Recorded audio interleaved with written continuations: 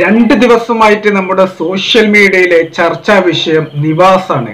ഉമ്മയനല്ലൂരിലെ bakery നടത്തുന്ന നിവാസ്.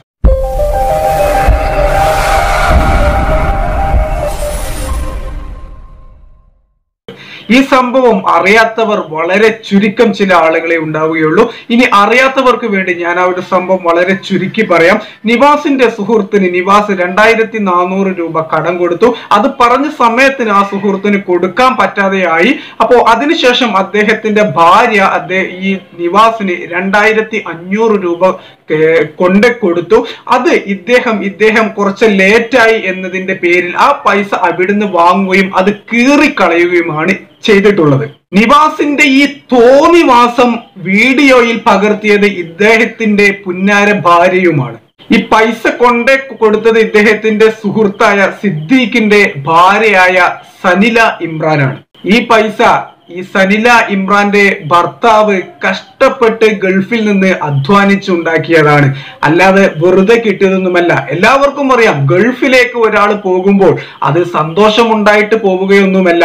വീട്ടിലെ ബുദ്ധിമുട്ടുകൾ കാരണം വീട് വിടേണ്ടി വീടും നാടും വിട്ട് പോവേണ്ട ആളുകളാണ് പ്രവാസികൾ. ഇവിടെ പണത്തിന്റെ ഹുങ്ക് ആ ഹുങ്കാണ് ഇവിടെ നിവാസ്. ഉമ്മയനെല്ലൂരിലെ നിവാസ് എന്ന മോനെ ഈ ഇവർ ഇവിടെ കാണിച്ചിട്ടുള്ളത്. ഒരു രണ്ടായിരത്തി നാനൂറ് രൂപ കടം വാങ്ങി എന്ന് പറഞ്ഞിട്ട് അത് കുറച്ച് ലേറ്റായി എന്നതിന്റെ പേരിലാണ് ഈ തോന്നിവാസം ഈ നിവാസ് ചെയ്തിട്ടുള്ളത്. അത് പകർത്തിയത് ഇദ്ദേഹത്തിന്റെ ഭാര്യയും.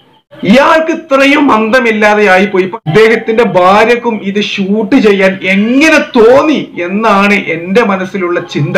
അതും ഒരു സ്ത്രീയല്ലേ? ഓപ്പോസിറ്റ് ഉള്ളതും ഒരു സ്ത്രീയാണ്.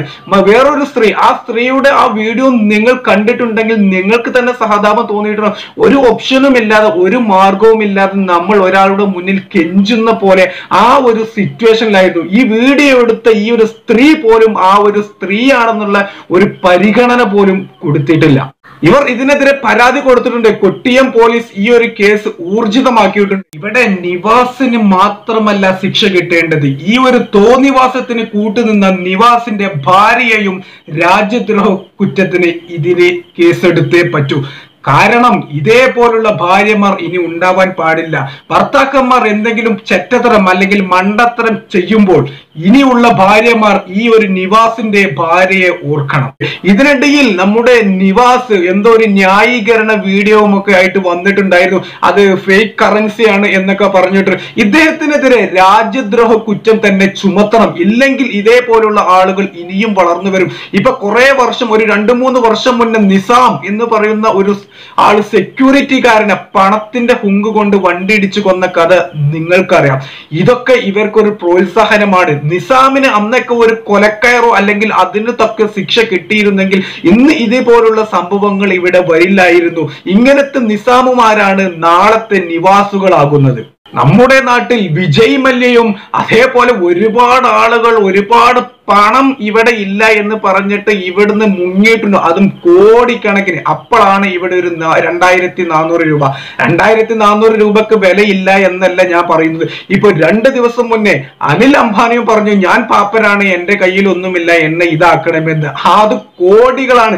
ഇവിടെ ഒരു രണ്ടായിരത്തി നാനൂറ് ഇദ്ദേഹം ഒരു ചീപ്പ് പബ്ലിസിറ്റിക്ക് വേണ്ടിയിട്ട് ആ നാട്ടുകാരൊന്നും അറിയണം എന്നുള്ള രീതിയിലാണ് ഭാര്യയെ കൊണ്ട് ഈ ഒരു വീഡിയോ എടുപ്പിച്ചത്. പക്ഷെ അത് അദ്ദേഹത്തിന് തന്നെ വിനയായിട്ടുണ്ട് തീർച്ചയായിട്ടും ഇദ്ദേഹത്തിനെതിരെ നല്ല സ്ട്രോങ് ഉള്ള കേസ് തന്നെ വരണം. ഇനിയും ഇതേപോലുള്ള നിവാസുമാർ നമ്മുടെ നാട്ടിൽ ഉണ്ടാവാൻ തന്നെ പാടില്ല. ഇതൊക്കെ മുളയിലെ നമ്മൾ നുള്ളണം. നിവാസിന് ഇന്ത്യൻ നീതിന്യായ വ്യവസ്ഥ കൊടുക്കുന്ന ഈ ഒരു ശിക്ഷ എല്ലാ നിവാസുമാർക്കും ഇതേപോലെ ചെയ്യുന്ന എല്ലാവർക്കും ഒരു പാഠമായിരിക്കണം. അതേപോലുള്ള ശിക്ഷയാണ് കൊടുക്കുന്നത്. ചില ആളുകൾക്ക് അങ്ങനെയാണ്. പണത്തിന്റെ ഹുങ്ക് അല്ലെങ്കിൽ അധികാരത്തിന്റെ ഹുങ്ക്.